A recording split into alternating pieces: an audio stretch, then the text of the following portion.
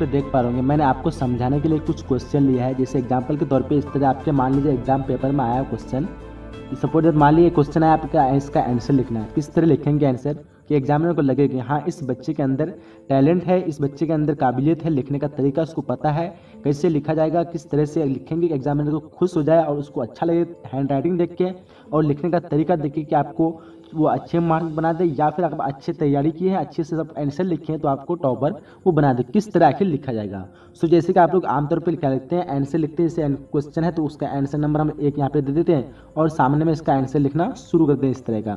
तो ये पुराना मेथड है मैं आपको कुछ अपने नया मेथड बताने जा रहा हूँ जहाँ पे आपको देखने में अच्छा लगे। खुद आप कहेंगे कि कैसा अच्छा राइटिंग है किस तरह के आपको अच्छे से डिज़ाइन से बनाया जाता है तो आपको खुद ही अच्छा ही लगने लगेगा। तो मैं आपको समझाने के लिए कुछ यहाँ पे नीचे मैं इसका आंसर लिखा हूँ।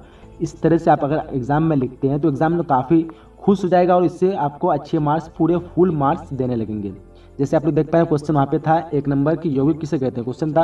अब इसका आंसर हम इस तरह यहाँ पे लिखे, जैसे आप लोग देख पा रहे होंगे कि क्वेश्चन वन का यहाँ पे देख दिए बोर्ड में कि क्वेश्चन नंबर एक का आंसर इस तरह आपको कॉपी के बीचों बीच हेडलाइन में लिख देना है, ठीक है?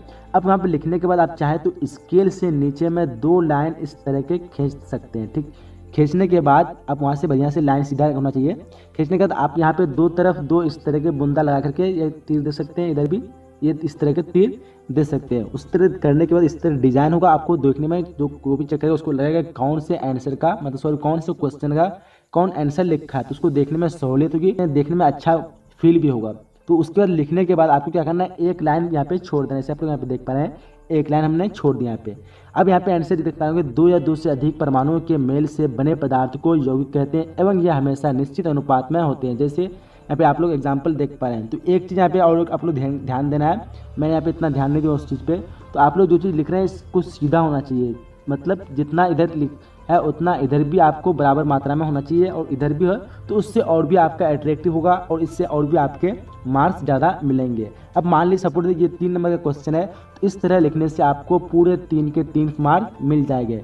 और मेन चीज़ तो आपको ध्यान रखना की बात है यहाँ पे, ये चीज़ जैसे ही क्वेश्चन पूरा फिनिश होता देख पा यहाँ पे क्वेश्चन ये फिनिश हो गया है। मतलब सॉरी आंसर फिनिश हो गया जैसे ही आंसर फिनिश हो जाएगा सो आप लोग को कम से कम तीन या फिर हो सके तो चार लाइन आप लोग को बीच में छोड़ देना ऐसे आप लोग देख पाएँगे एक, दो, तीन तीन लाइन मैंने यहाँ पे छोड़ दिया है, ठीक?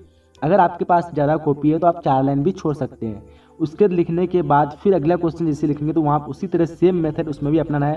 क्वेश्चन दो का बीचों बीच कॉपी के लिखना है हेडलाइन में और लिखने के बाद इस तरह करके फिर इसका आंसर लिखना है। इसी तरह जितने भी क्वेश्चन होंगे हम लोग, उसी तरह तीन लाइन, चार लाइन छोड़ के फिर उसका आंसर हम लोग इस तरह लिखेंगे। तो इस तरह लिखने से एग्जामिनर का जो नज़र जो उस कॉपी में पढ़ने के बाद, उसको अच्छा लगता है। काफ़ी यहाँ पे आप लोग देख पाए होंगे। काफ़ी अच्छा लगेगा उसको। देख पाएँगे किसका आंसर किस तरह लिखा है, कहाँ कहाँ क्वेश्चन शुरू हुआ है, कहाँ पर ख़त्म हुआ है और उस यहाँ पे किसी तरह के झंझट भी नहीं होगा। अगर आपके बीच में कहीं गलती हो जाती है किसी भी वर्ड को तो आप लोग वहाँ पर दोबारा न करें। अगर दोबारा उसको दोहराते वहाँ पे तो वो आपका और भी बोर्ड हो जाता है और उसकी नज़र वहीं पे पड़ जाती है। एग्ज़ाम्पल के तौर पे मैंने जब यहाँ पे लिखा हूँ और जब मुझे नीचे में लिखा चाहिए मैंने एक बार ऊपर पे लिख दिया आपको दिखाने के लिए।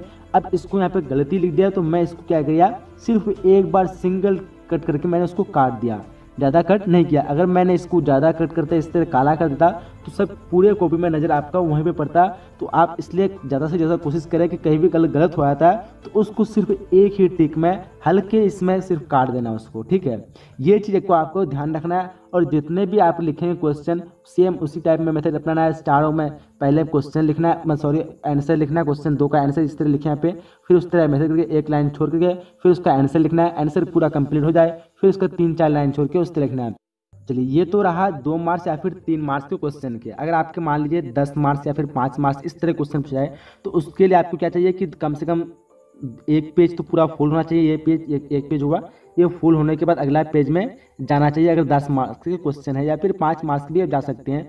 तो आप हमेशा कोशिश ये करें कि एक पेज जैसे ही ये फुल हो गया तो अगला पेज में जैसे जाएँ तो उस पेज का वहाँ पे आंसर जहाँ तक होता है चाहे मान लीजिए ये एक पेज फुल हो गया और अगला पेज में हम उलाटे तो वहाँ पे मेरा ये आधा तक रहा और आधा पेज खाली रहा।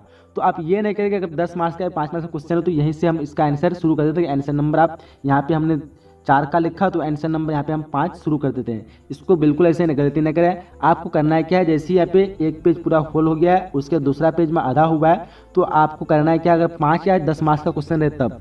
करना क्या है कि इस जो खाली है, इसको पूरा ही छोड़ देना है और फिर अगले पेज में फिर हेडलाइन में आपको लिखना है answer number sorry question number पाँच का आंसर इस तरह करके हेडलाइन में अगले पेज में लिखना है। ये अगर आधा से ज़्यादा या फिर आधा से कम खा जाए तो इसको पूरा खाली ही छोड़ देना है, क्योंकि यहाँ पे पाँच मार्क्स का आएगा नहीं और इस तरह लिखेंगे तो आपका कचरा हो जाएगा। तो उसको लगेगा कि हाँ ये पाँच मार्क्स क्वेश्चन यहाँ से या फिर दस मार्क्स क्वेश्चन यहाँ से खत्म हो चुका है, फिर इतना जगह कर अगला क्वेश्चन शुरू हुआ है। तो ये चीज़ आप लोग ध्यान में रखिए, मैं आपको गारंटी देता हूँ कि आपके बोर्ड एग्ज़ाम में अगर आप अच्छे से तैयारी किए हैं, अच्छे से पढ़े हैं तो आपको फुल मार्क्स मिलना ज़रूरी है, चाहे आप कितने भी, कितना भी कुछ अगर वो काटना चाहेगा तो आपका नंबर काट ही नहीं सकता है। उसको ऐसा ही देख के ही फील लगेगा कि वो काटेगा तो काटेगा किधर? उसको देखने में पूरी तरह से अच्छा लगेगा सही डिज़ाइन लगेगा तो वो कोई भी ऐसा टीचर नहीं होगा या कोई भी ऐसा एग्जामिनर चेक करने वाला नहीं होगा जो आपको मार्क्स को काट दे।